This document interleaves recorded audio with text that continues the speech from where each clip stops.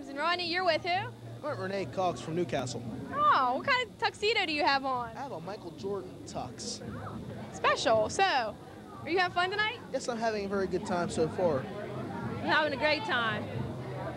How was how was um their prom c- compared to ours? Uh, their prom wasn't as a success as ours. Ours is more sophisticated.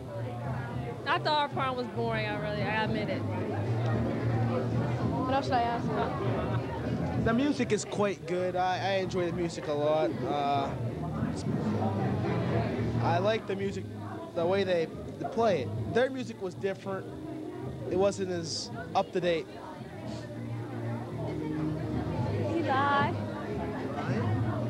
It was alright. Ours was alright.